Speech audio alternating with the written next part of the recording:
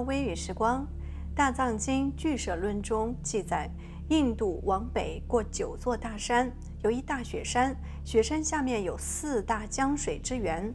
这个大雪山呢，就是指冈仁波齐，藏语的意思就是雪宝。冈仁波齐终年白雪皑皑，云雾缭绕，神秘莫测，同时被佛教、印度教、耆那教和本教公认为世界的中心。据说呀，这里是须弥山在人间的对应。须弥山被认为是所有宇宙物质和精神的中心，这里呢也是释迦牟尼佛的道场，莲花生大士、弥勒日巴尊者都曾经在这里修行。冈仁波齐外形像台阶，藏族的祖先认为这些台阶呀是上下天界的梯子，只要围绕着它转山一圈，就可以洗净一生的罪孽；转山十圈，可以在轮回中免下地狱之苦。转山百圈，可以在今生修得正果，所以朝圣转山的人群络绎不绝。峰顶垂直而下的巨大的冰槽和一条横向的岩层，构成了佛家的万字符。当日光照到峰顶，犹如一座金字塔，金光四射。冈仁波齐山脚下是美丽的马旁雍措湖，藏语的意思就是永恒不败的碧玉湖。它是恒河、印度河、萨特累济河和雅鲁藏布江四大江水的源头。高僧玄奘曾经在《大唐西域记》中称其为西天瑶池。关于冈仁波齐的神秘现象有很多，比如说，至今无人登上冈仁波齐的山巅。登山的过程是一个加速衰老的过程。冈仁波齐跟世界上很多神秘建筑之间有着某种联系。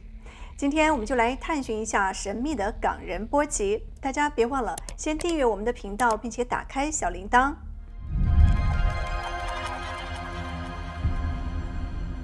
相传弥勒日巴尊者离开马尔巴上师的时候，马尔巴曾经给他幻化出众多神山秘境。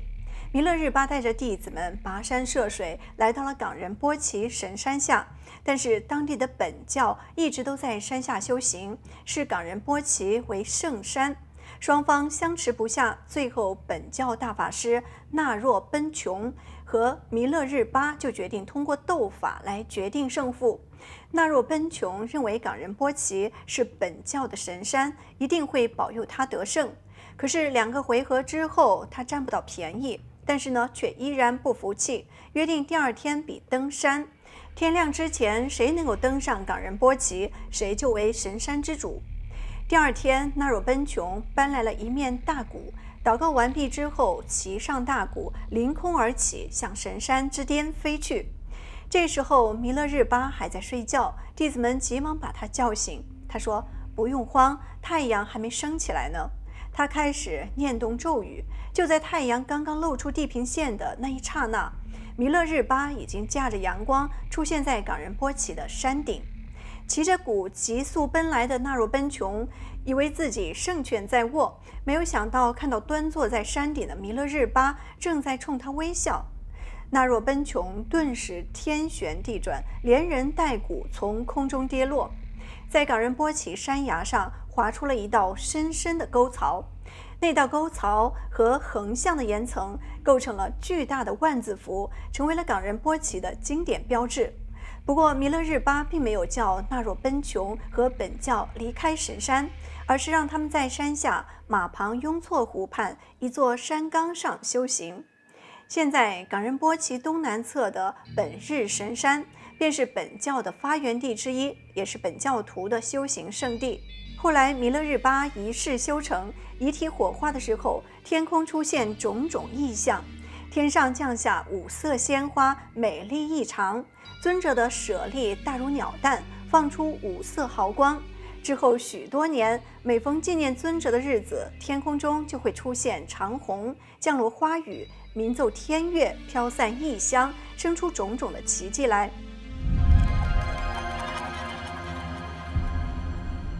一九四八年出生在无神论洗脑宣传中长大的苏联科学家穆尔达舍夫博士，是眼科和整形外科中心的主任。穆博士的整个职业生涯都在致力于研究人体组织结构，特别是眼睛。对于超自然的现象，他一直认为是唯心的，也从来都没有研究过宗教。直到有一天，有一个非常简单的问题开始困扰他：我们为什么要看着对方的眼睛呢？由此，他展开了这方面的研究。他的团队创建了一个能够分析眼睛几何参数的计算机程序，来识别人的身份、民族特征和诊断眼科疾病。他们收集了世界上所有种族的人的眼睛的数据，发现世界上最具统计平均值的眼睛属于藏族人。为什么是藏族人呢？这其中有没有更深刻甚至更神秘的内涵呢？带着这份好奇，他们把藏族人和其他种族人的眼睛统计平均值进行比较和研究，最后惊奇地发现，这跟人类的起源有关。人类起源于西藏。从那里沿着四条基本路径向世界其他地区繁衍和发展。他们追寻这些人类的迁徙路径进行考察，并且用已知的历史事实进行对照，发现他们的结论跟现实基本吻合。可是西藏人又是来自于哪里呢？地球上人类的起源有许多不同的假设，有神创论、进化论、外太空理论等等。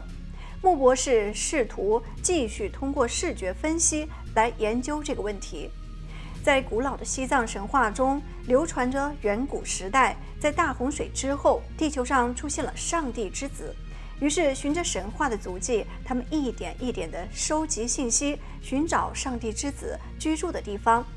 他们得知，西藏和尼泊尔的每一座寺庙都以一双巨大而不同寻常的眼睛来迎接游客。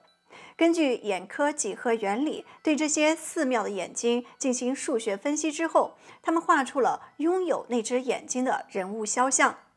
这个人物的形象看起来很奇怪，在东方的文献中，穆博士找不到类似的东西。为了弄清楚这个人到底是谁，跟藏族的起源又有什么样的关系？穆博士就把肖像拿给了西藏、印度、尼泊尔等地的喇嘛和上师看，他们一看到画像就说是他，但是再问呢却三缄其口。这个他们虔诚的称为他的人是谁呢？穆博士相信他一定是香巴拉的人。这幅肖像也成为了人们寻找人类最大的秘密——人类基因库的指导线索。穆博士的西藏之行让他有了意想不到的收获。他发现冈仁波齐山实际上啊是一座巨大的远古时代的人造金字塔，周围环绕着一百多个小一点的金字塔，一共一百零八座，构成了人们所说的众神之城。这个大金字塔可能跟世界上其他能够观察到超自然现象的纪念碑或者是遗址相连接。有可能是全球系统的中心。几个世纪以来，冈仁波齐吸引着苦行僧、瑜伽士和朝圣者，以及登山运动员。但是，人们都说冈仁波齐是一座神山，不可攀登。据说呀，至今还没有人能够上去。曾经有四名登山运动员不以为然，毅然攀登。可是，在途中，他们发现身体衰老得非常的快，好像细胞在加速分裂一般，只得放弃。在两年之内，他们都因为各种莫名其妙的疾病相继离世了。这个世界上唯一获得攀登许可的人，是第一个征服珠穆朗玛峰的意大利登山运动员梅斯纳。不过呢，他在最后一刻拒绝了这个机会。不知道他为什么会改变主意，是被冈仁波齐的神秘震慑住了吗？还是心生敬畏呢？总之，他意识到征服这座山峰就意味着征服人们的精神，这是他放弃的理由。穆博士率领的俄罗斯探险队也想过要登上这座他们眼中的西藏金字塔，但是当地的喇嘛事先交代。科学考察人员不可以偏离设定的路线，万一偏离，就有可能进入密教的活动区域，后果不堪设想。所以他们最终还是放弃了。但是他们发现，大多数的西藏金字塔是由尺寸各异的凹面、半圆、平面的石质结构组成的，他们称之为石镜。石镜之间相互连接，最大的高达八百米，被称为是幸运石之家。在西边，冈仁波齐的石镜以一百零八度倾斜；在北边，以三十度和七十八度角倾斜，加起来也是一百零八度。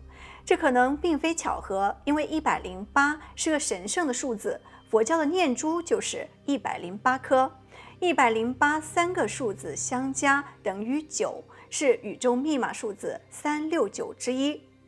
一九九零年代，俄罗斯科学家尼古拉·科技列夫，他研究出一种高度为二十三米的镜子，叫做科技列夫镜。这种镜子呀，会聚焦不同类型的辐射。在金属镜子中，时间发生了特殊的变化，成了既能够浓缩也能够伸展的能量，具有时光机的作用。凡是照科技列夫镜的人，都会明显的表现出头晕、惊恐、看到飞碟、看到童年的自己，或者是一些其他奇怪的东西。穆博士团队认为，西藏的石镜和科技列夫镜子有着相似之处，它们能够收集宇宙的能量，创造了一个特殊的能量空间，能够加速或者是减缓时间的流逝。他们认为，那些试图登上冈仁波齐山的运动员会加速老化，可能就是石镜的作用。当然了，真实的原因究竟是什么，我们不得而知。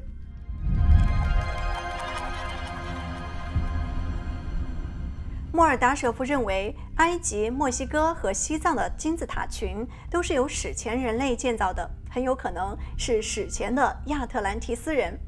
在诺查丹马斯的著作中，传说中的亚特兰提斯人通过使用第三只眼投射内部能量，就能够轻松地搬动重物，还能够建造金字塔这种不朽的建筑。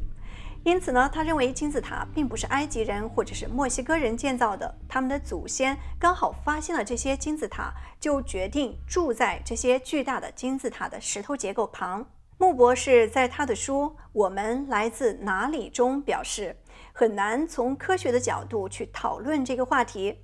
由金字塔和石镜组成的众神之城的示意图结构类似于 DNA 分子的空间结构，由此他推测冈仁波齐跟地球上的生命有关。在此后的数十年间，更多专家来到西藏探查这些金字塔，他们惊奇地发现狮身人面像面朝的方向居然就是冈仁波齐。难道狮身人面像注视的目标就是冈仁波齐吗？按照穆博士的推测，这个大金字塔很有可能是全球系统的中心，有可能是和世界上那些超自然现象的建筑相连接。于是呢，他们就把玛雅金字塔、墨西哥金字塔，还有复活节岛的巨石阵、英国的巨石阵放在一起研究，结果呀，大吃一惊。如果拿一个缩小的地球来做示范。从冈仁波齐峰向地球的另一端做一个轴的话，那么这个轴准确指向的是有着谜一般石像的复活节岛，而从冈仁波齐到埃及金字塔的距离正好是冈仁波齐峰到复活节岛的距离的四分之一。如果把复活节岛和墨西哥金字塔相连接的话，那么这条线将指向冈仁波齐。而从复活节岛到墨西哥金字塔的距离，也恰好是复活节岛到冈仁波齐距离之间的四分之一。也就是说呢，西藏金字塔到埃及金字塔的距离，跟复活节岛到墨西哥金字塔的距离是一样的。连接这四个点画出的范围，恰好是地球表面的四分之一。如果用线将埃及金字塔和墨西哥金字塔连接起来，那么这条线就将地球表面的那个四分之一分成了绝对相等的两个三角形。如果将冈仁波齐金字塔和英国巨石阵用线连接起来，那么这条线延伸到复活节岛，从冈仁波齐到英国巨石阵的距离，正好是冈仁波齐到复活节岛的近线距离的三分之一。这条线将上面提到的那个四分之一地球的面积分成了两半。如果将这条线从复活节岛继续延伸三分之一，就到达了百慕达金三角。他们推测，在金三角地区曾经沉没过古建筑群。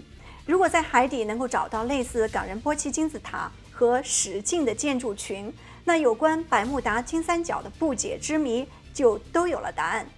还有更加巧合的是呀，冈仁波齐海拔六千七百一十四米。从冈仁波齐到英国巨石阵的距离总计也是六千七百一十四公里，从巨石阵到百慕达金三角也是六千七百一十四公里，而从金三角到复活节岛的距离也是六千七百一十四公里，从冈仁波齐到北极的距离总计也是六千七百一十四公里。而六七一四这四个数字相加，最后得到九，也是宇宙密码数字中最神秘的数字。这一切难道是巧合吗？看来呀，有关冈仁波齐是世界轴心的传说是有由来的，难怪希特勒会两次派人去寻找。好了，今天我们的故事就讲到这里。喜欢微雨的故事，别忘了点赞、留言和转发。我们下次见。